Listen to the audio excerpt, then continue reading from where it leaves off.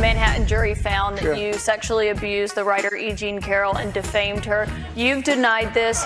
But what do you say to voters who say it disqualifies you from being president? Well, there aren't too many of them because my poll numbers just came out. They went up. Okay. This woman, I don't know her. I never met her. I have no idea who she is.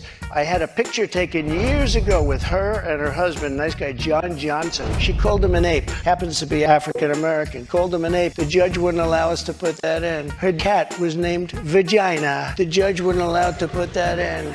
All of these things he but with her they can put in anything. And by the way, you know, he's right. The left leaning Axios absolutely agrees. The more Trump gets hit with weaponized legalism, the more his polls soar.